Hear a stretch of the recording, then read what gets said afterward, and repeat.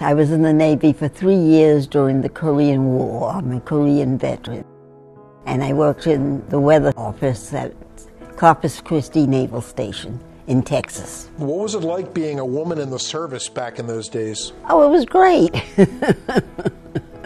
Would you ever have thought those years ago that women would be on the front lines carrying guns and wearing no, helmets? no, never did. So, what did you do in Corpus Christi? What was your position? What job did you do?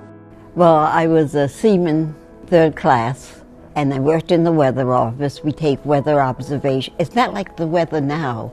Now they have such sophisticated instruments. At that time, we didn't. So we took hourly observations, the height of the clouds, uh, the temperature, the wet bulb temperature, and then you plot the map, the weather map.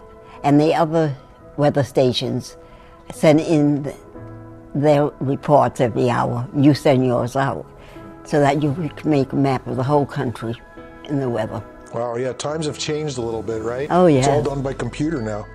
I look better then than I do now. We'll be the judge of that, all right?